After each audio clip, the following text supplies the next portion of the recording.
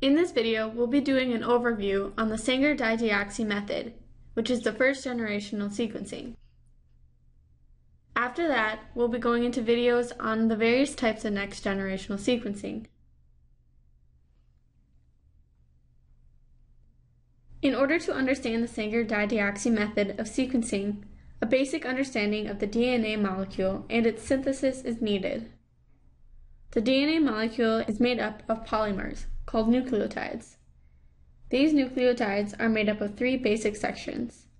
The backbone of the DNA molecule is composed of the 5-ring deoxyribose sugar and the phosphate on the 5' prime end of the sugar.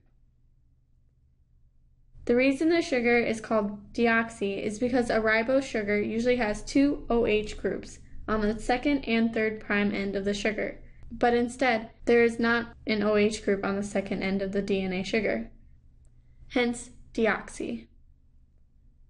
The third part of the nucleotide is the nucleoside base of either an adenine, thymine, guanine, or cytosine.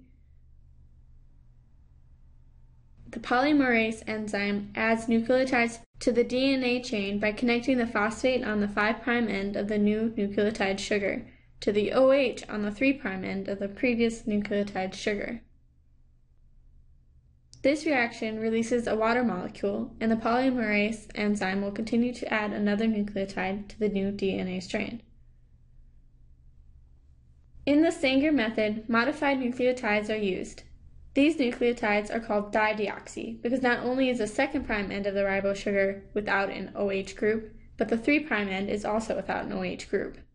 Since the 3' OH group is required to elongate the DNA chain by adding the phosphate end of the next nucleotide to it. Without it, the DNA chain will end. The DNA sample is divided into four separate sequencing reactions, containing all four of the standard deoxynucleotides and the DNA polymerase.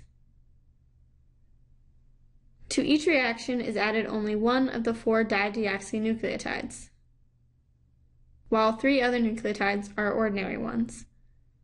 After many cycles of copying, all of the possible chain termination molecules are produced. The reaction has stopped at every base, putting it in a more sensible order.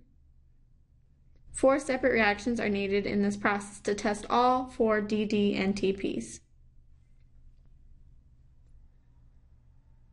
Following rounds of template DNA extension from the bound primer, the resulting DNA fragments are heat denatured and separated by size using gel electrophoresis.